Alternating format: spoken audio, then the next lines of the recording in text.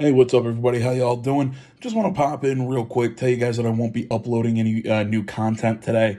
Uh, biggest reason for that, I've got some IRL stuff that I got to go out and handle. Uh, mix that with I'm just behind my recording. I don't really have a backlog of stuff to set uh, to upload and everything, so I'm just gonna take the in, instead of trying to rush and get something out later tonight.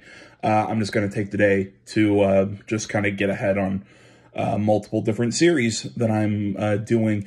I'll kind of take this a quick second while I have your ear to ask you guys a question because I will be, or I'm planning to restart uh, some of my previously uh, started Let's Plays that I never ended up finishing. Stuff like AC Valhalla that I plan on starting over, giving that game another crack. Uh, I know I'm going to be starting over my Corpo run on Cyberpunk 2077 when the uh, new DLC drops. I think that's sometime next year. Uh, so I'm curious, uh, like, how would you guys like me to handle that? Like, delete the old uh, playlist? Well, I guess it's on YouTube because I don't have playlists on BitChute because I don't pay for that, but that's beside the point. So, you know, would you rather me delete the old playlist, leave it up?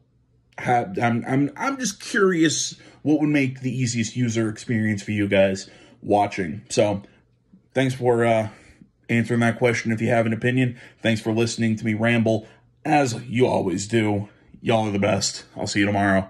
I'm out.